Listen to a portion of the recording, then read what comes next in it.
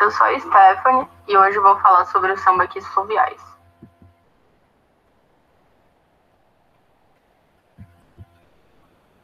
E esses serão os tópicos que eu irei abordar.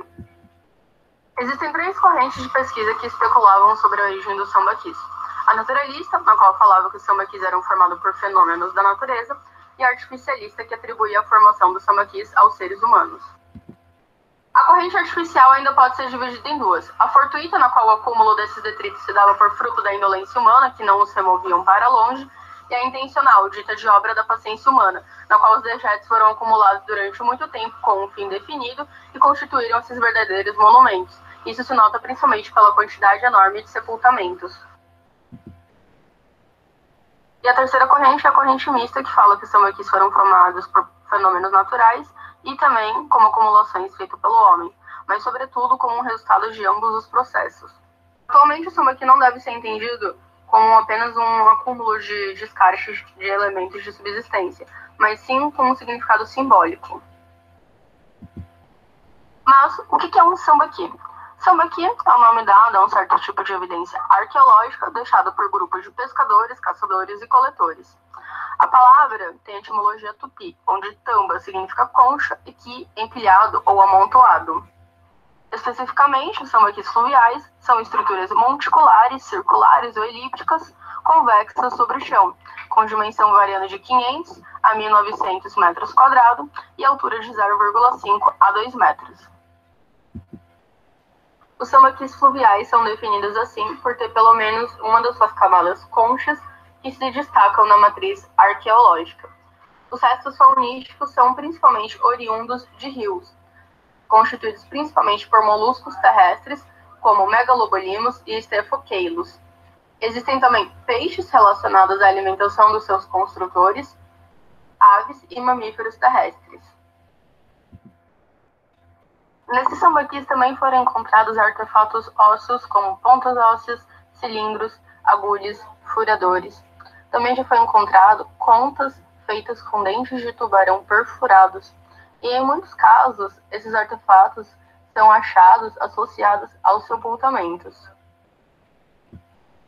Em relação à industrialística, há pontas de flechas afiadas, lâminas de machado de pedra polida, manos e lascas de pedra sendo que a composição desses artefatos é dada principalmente por sílex, quartzo, arenito e calcário. Maquis fluviais ainda apresentam inúmeros sepultamentos e, em alguns casos, estruturas habitacionais. As camadas de concha, o carvão de antigas fogueiras e esses túmulos se misturam na estratigrafia. Esses sepultamentos podem ocorrer de diversas formas, composições fletidas e com diferentes acompanhamentos funerários.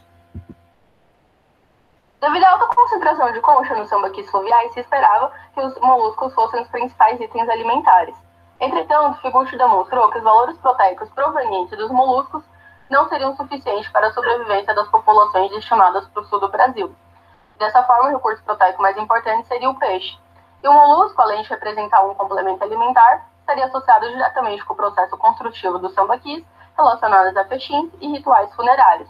Fechins são locais ideais para intercambiar bens e exibir prestígios, o que denota uma relação social, econômica e política. Dessa forma, a disposição de conchas estaria relacionada com uma celebração do culto aos mortos. Os vivos comeriam em memória aos mortos. Então, a alta presença de sepultamentos e o uso do reconhecimento do espaço e a supervotação ao longo dos anos desses grupos sambaqueiros denotam a complexidade dessa sociedade.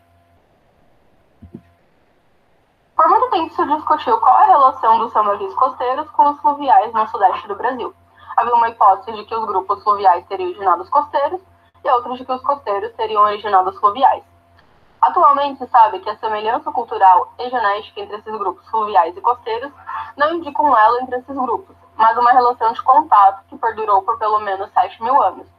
E a origem genética não é um dando origem ao outro, mas sim de uma população protossambaqueira no Pleistoceno que compartilhou um sistema cosmológico e cujos valores acerca do culto aos mortos foram perpetuados por essas duas populações distintas durante o Holoceno.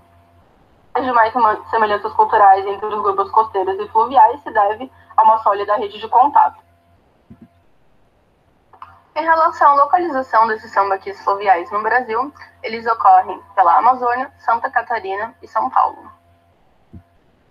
Os sambaquis de São Paulo ocorrem ao longo do oceano entre 9 mil a mil anos antes do presente e são compostos principalmente por gastrópodes terrestres, como megalobolimos, e fluviais, como diplodon, restos de peixes como bagre e mandis, e mamíferos terrestres. Existe cerâmica não relacionada a esses grupos sambaqueiros nas camadas superficiais. Taquara é um dos sambaquis fluviais mais estudados de Santa Catarina, onde foram encontrados seixos, machados, e anzóis de ossos e adornos com dentes de tubarão, e moluscos como diplodon, megalobonismos e ainda Crausotraia e Lucina jamaicensis.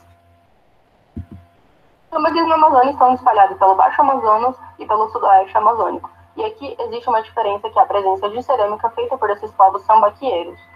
Apesar da distância, esses sítios compartilham cronologia, padrão de assentamento e a presença da cerâmica antiga. E essa cerâmica, ela se estende desde a base, formada pelo cúmulo de solo escuro, até as camadas mais recentes.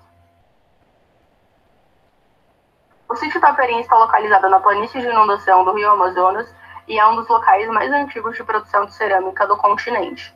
Os povos sambaqueiros faziam pesca de peixes e mariscos nesse local, e o antiplástico da cerâmica é formado por saibro, areia e conchas trituradas. E a presença de fuligem indica preparo e consumo de alimentos.